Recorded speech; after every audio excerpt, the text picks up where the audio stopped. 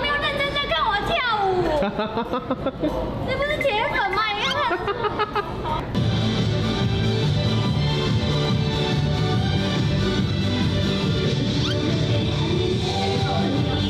这有点难接。哎，再一次。《乘风破浪的姐姐》已经播出了两次公演，加上初舞台，一共有三个舞台播出了。在这三个舞台中，哪些舞台热度高呢？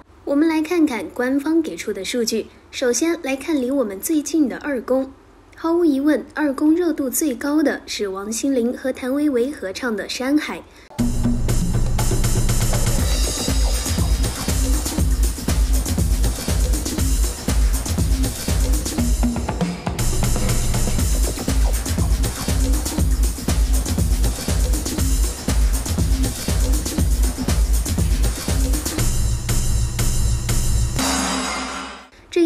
乘风破浪的姐姐三》最出圈的舞台了。山海的原唱是草东没有派对，是一首摇滚歌曲，力量十足。王心凌的特点是甜心可爱，她之前从未唱过这样的歌曲，而。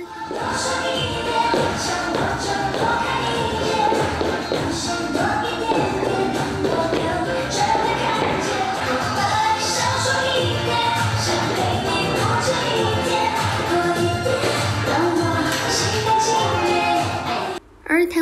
唱这样的歌曲是驾轻就熟，所以这个舞台既有新鲜感，又有完成度，不火才怪呢。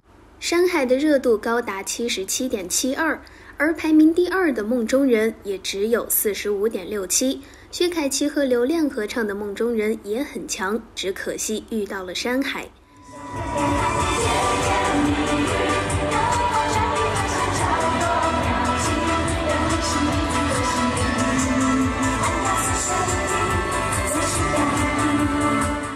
秀妍、吴谨言、唐诗逸、毛俊杰、张歆艺演唱的《OK》竟然排在了第五位，看来郑秀妍已经不是王心凌的对手了。今年会开演唱会吗？今年现在几月了？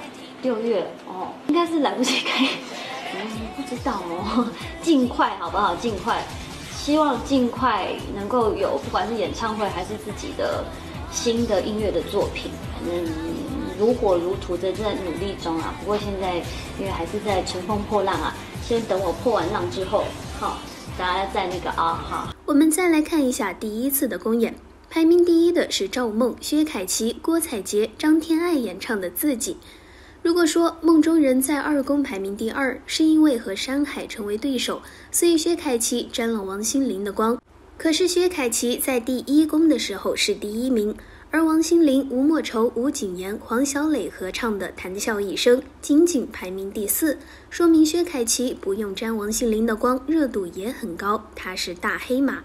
郑秀妍、阿雅、毛俊杰、蔡卓妍合唱的《要你管》也仅仅排在了第三而已。难道郑秀妍只是虚火？赛前，郑秀妍可是网传的冠军大热门啊！那英和宁静虽然是前两季的冠军，但他们的舞台的热度都不是很高。那英前两次公演的舞台热度，一个是第七，一个是第八；宁静前两次公演的舞台热度，一个是第六，一个是第五。我们最后来看初舞台，排名第一的是王心凌的《爱你》，这个也是毋庸置疑的。节目组和王心凌相互成就，王心凌让浪姐三出圈，浪姐三让王心凌爆红。郑秀妍演唱的《失落沙洲》排名第二，也就是说这三个舞台，王心凌的成绩是第一、第四、第一，而郑秀妍的成绩是第二、第三、第五。薛凯琪初舞台没有进前十，但是一宫和二宫分别是第一和第二，她才是王心凌最大的竞争对手。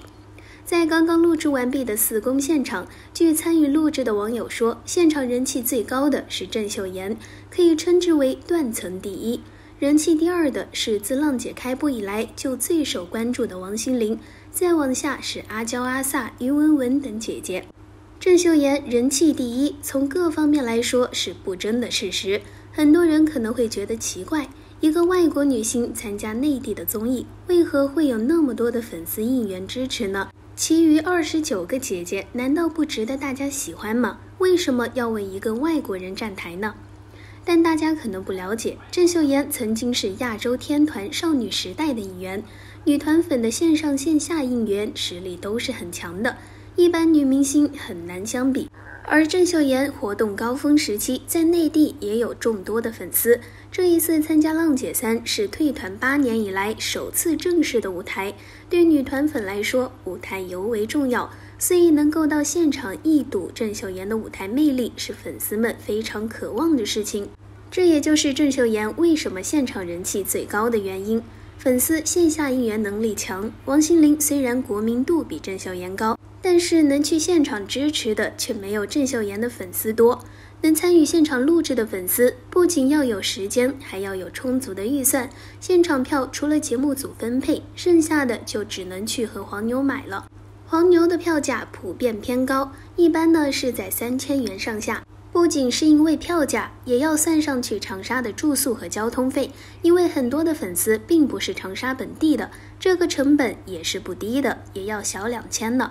如此算下来，一个粉丝去现场支持郑秀妍，平均花费在五千元左右。而对于王心凌的粉丝而言，王心凌未来开演唱会的几率很大。有这笔钱，还不如省下来去看王心凌的演唱会。这也就是为什么四公现场人气、国民度极高的王心凌不如郑秀妍的原因了。浪姐三二公，郑秀妍当了队长，在选曲和排舞方面，他的确是很专业，还热心的纠正吴谨言的英语发音，很努力的帮助自己的小组能够呈现出最完美的发挥，个人能力非常的值得肯定。